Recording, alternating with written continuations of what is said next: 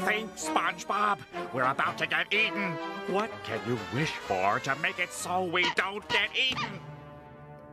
Don't worry, Squidward. I've got it all figured out. He won't be able to eat us because I wish that the Dutchman was a vegetarian.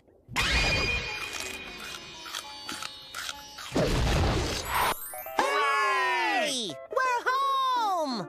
You did it, SpongeBob. We're safe. But why have we been turned into fruits? Hey, I get a wish too. Fruit prevents scurvy. hey, get back here with that. get you.